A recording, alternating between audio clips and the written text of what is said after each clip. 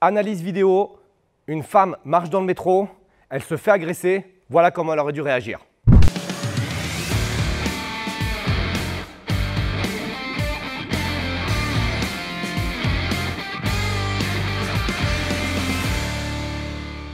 On va analyser euh, une vidéo aujourd'hui. Donc c'est une vidéo qui se passe dans le métro, une femme se fait agresser. Avant cela, bien évidemment, que je t'invite à faire, c'est rejoindre ma liste privée d'emails pour recevoir les emails qui vont sauver ta vie. Les emails qui peuvent sauver ta vie sont des conseils réguliers que je te donne chaque semaine sur comment apprendre à se défendre, comment augmenter son niveau de confiance en soi et comment augmenter son mental. Si tu veux rejoindre ma liste privée, clique sur le bouton situé sous la vidéo. Alors, la, vidéo euh, d'attaque d'aujourd'hui, euh, elle se passe dans le métro. Euh, tu vas voir que c'est assez particulier parce que au final, elle s'est mise toute seule, cette dame, dans une situation très compliquée. Donc je vais te montrer la vidéo, après je te ferai l'analyse de ce qui s'est passé, de ce qu'elle aurait dû faire et de ce qu'elle aurait pu faire si elle avait pratiqué le Krav Maga et si elle s'était mise en sécurité.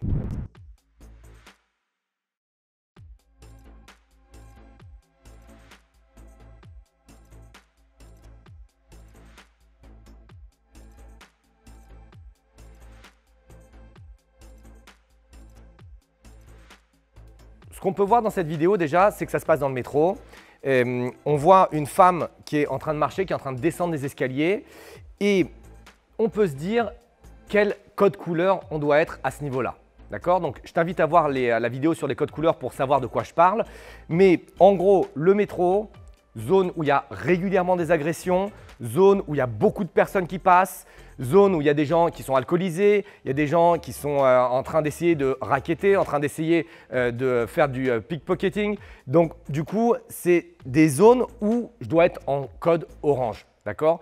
Donc là, cette dame, apparemment, elle rentre chez elle, ou on ne sait pas où elle va, elle a une capuche sur la tête, elle a l'air dans son monde, elle a les mains dans les poches, elle est en code jaune, voire en code blanc. Ça veut dire quoi? Ça veut dire qu'elle a l'impression de marcher comme si elle était chez elle ou elle a l'impression de marcher comme si euh, elle était dans un endroit où il n'y a aucun risque. Ça, typiquement, euh, une des premières choses qui peut la sauver, c'est d'augmenter son niveau de vigilance. Elle est en train de marcher, donc quand on commence la, vidéo, elle est, euh, elle est en train de marcher et on voit les agresseurs derrière.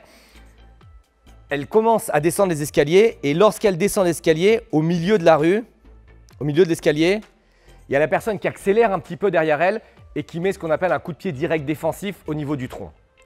Elle fait un vol plané vers l'avant.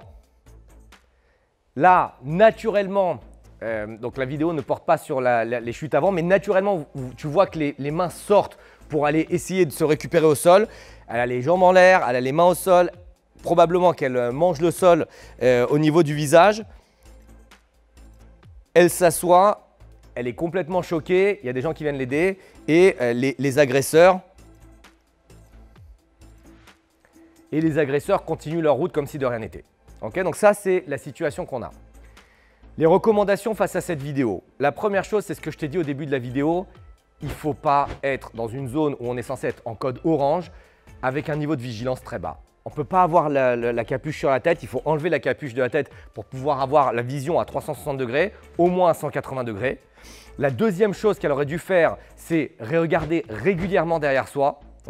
et donc, elle aurait vu les gens euh, qui sont en train de préparer une attaque. Et peut-être que ces gens-là se seraient dit bah, c'est pas cette personne que je vais aller attaquer. Pourquoi? Parce qu'elle est avec un niveau de vigilance trop important. D'accord? Si jamais euh, l'agresseur regarde des gens attaquer, il va s'attaquer aux gens qui ont l'air faibles, aux gens qui ont l'air d'être des proies faciles. Et là, c'est une proie facile. C'est terrible ce que je te dis, mais si jamais euh, tu veux augmenter tes chances de te faire agresser, il faut avoir une attitude euh, de proie, d'accord? Et là, c'est ce qui s'est passé. Donc le, prédateur, il va directement sur la proie. Donc enlever la capuche, observer l'environnement. L'autre chose qu'elle aurait pu faire, à part parler du, combat, ce qu'on va, faire euh, prochainement, c'est lorsqu'elle descend, bien regarder derrière elle, attraper la rampe fortement et fermement, ce qui veut dire que si elle prend un coup, eh ben, elle a de quoi marcher et descendre les escaliers progressivement. Donc, je sais que c'est pas facile parce que euh, ça augmente ton niveau de paranoïa. Je sais qu'à chaque fois que tu descends des escaliers, bah, tu te dis mais est-ce que je vais regarder derrière, est-ce que je vais regarder devant? Mais ce que tu dois comprendre, c'est que c'est une attitude. D'accord? Ça veut dire la, sécurité personnelle, le fait de se sentir euh, protégé, le fait de se sentir efficace si jamais il y a une situation comme ça, c'est avant tout une attitude. Et enlever la capuche, tenir une rampe et avoir un, scan autour de soi pour voir ce qui se passe, bah, si ça se trouve ça, ça peut lui sauver la vie parce que je ne sais pas ce qu'elle a eu cette dame, si elle s'est éclatée la bouche, si elle a perdu des dents, si elle s'est fracturé le poignet, si elle a des dommages psychologiques mais entre je regarde autour de moi et j'ai 6 mois, 1 an, 2 ans de dommages psychologiques parce que je me suis fait agresser avec une telle violence dans le métro, moi je préfère regarder autour de moi. Mis à part ça, ce qu'on va faire, c'est que je vais te montrer euh, une euh, solution sur le coup de pied direct défensif si je m'étais bien positionné. Ça veut dire que si je suis avec un partenaire et je suis en train de marcher. Évidemment, si maintenant il tape dans mon dos, il n'y a pas grand chose à faire. D'accord? On n'est pas des super ninjas, on n'est pas des superman, on n'a pas les yeux derrière la tête. Sauf que dans cette phase-là où je suis en train de marcher et je sens qu'il y a une présence, ou alors je me suis retourné et je vois une présence, bah, je serai toujours mieux ici. Ça veut dire que j'ai pivoté, et c'est ce qu'elle aurait dû faire aussi dans la vidéo, j'ai pivoté toutes mes armes, mes pieds, mes poings, ma tête, mes yeux, vers la personne qui a une bouteille de bière à la main derrière moi et, euh, qui est en train d'avancer ou qui est en train de me regarder. Cette position, je peux rester. Cette position, je peux peut-être euh, faire euh, semblant que je vais passer un coup de fil et sortir mon téléphone, mais avoir les yeux vers lui. cette position, je peux rester en regardant en l'air pour me dire, tiens, vers quelle sortie je vais aller, et pour pas trop défier la personne qui est, derrière moi, ok Pour pas marcher et faire ça, ok Parce que peut-être ça, il va prendre aussi comme une provocation. Mais en tout cas, ce qui est sûr, c'est que je peux pas rester en train de marcher ici. Donc, je vais m'arrêter et je vais dans cette position.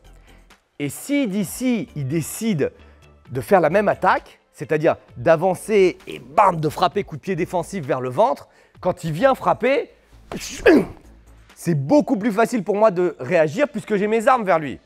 Et dans ce cas, ce qu'on conseille de faire, c'est de dévier la frappe. C'est-à-dire que quand il frappe vers moi, de dégager son, pied. Comme c'est euh, une jambe, ça pèse lourd, je vais utiliser mon avant-bras pour pouvoir dégager. S'il a beaucoup de force, beaucoup de puissance, et on voit dans la vidéo que la personne était assez costaud, quand il vient frapper, on vient avancer en diagonale. Ça veut dire en plus de mon bras, je dégage aussi le corps. Comme ça, si mon bras n'est pas efficace, mon corps est parti. Et après, on vient enchaîner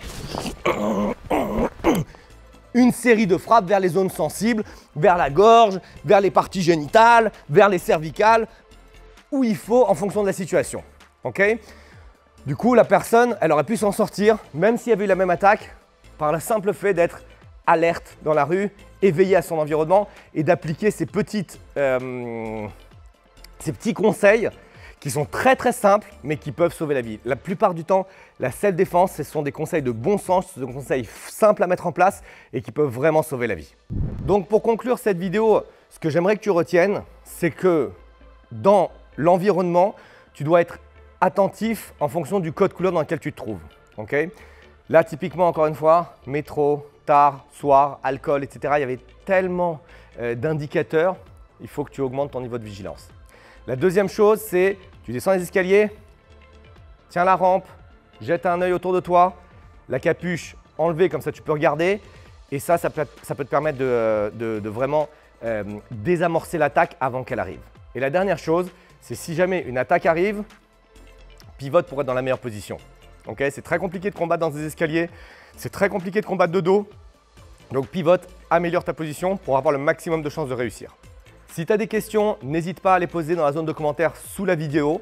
N'hésite pas à partager la vidéo parce qu'il y a peut-être des gens qui ont besoin de voir les conseils que je délivre dans cette vidéo. Et pour ma part, je te retrouve très vite pour une prochaine vidéo. À bientôt